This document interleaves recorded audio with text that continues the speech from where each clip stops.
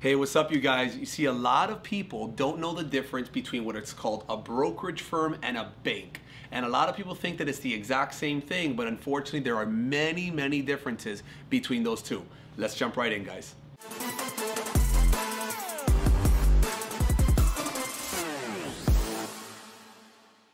Now, this might sound a little bit elementary, but what is a bank? You see, a bank is like banks like Chase, Bank of America, Wells Fargo, Citi. These are all different financial institutions that we can go put our money in. Now, usually when you go to these banks, they usually offer things like a checking account. Uh, what was that? Maybe a savings account, a money market account, a CD, um, possibly like personal loans and credit cards. You see, that is what normally, those are the products and services that the majority of banks offer.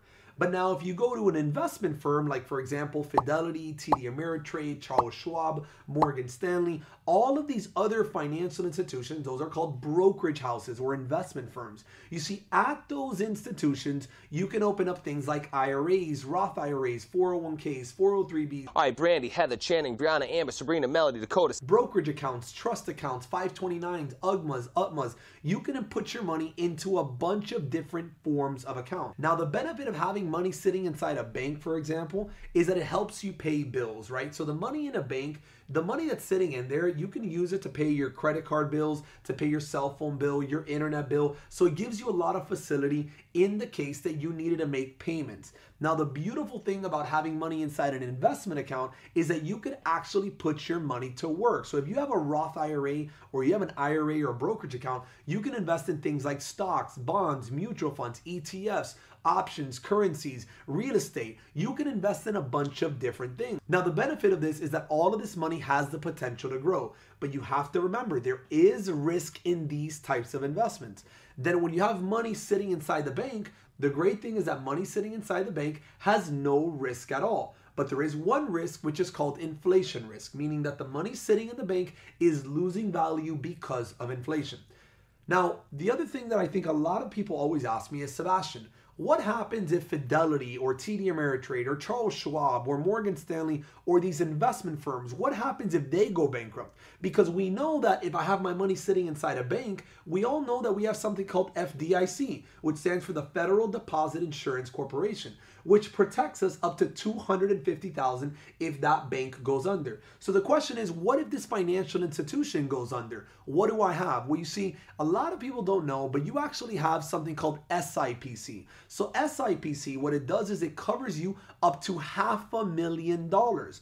It's 500,000 that they cover 250,000 of it could be covered in cash and the other 250,000 could be covered in actually the investments that you hold. So technically, you have a larger percentage of your money is actually protected in case those institutions actually go under. That's great.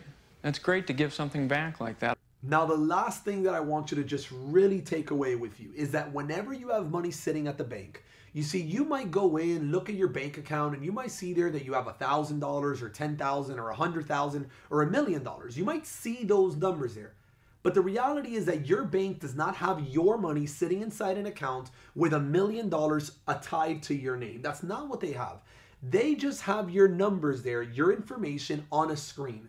But the reality is your money is being lent out. So your bank is actually using your money that is sitting in the bank. They're using it to lend it to people on credit cards, to buy cars, to buy houses. They're lending your money while they're paying you 0.00001% on a savings account. So this is the reason why banks love having your money sitting inside their accounts because even though you might see that you have a million dollars in there or a hundred thousand dollars in there or ten thousand, the reality is your money is being lent out.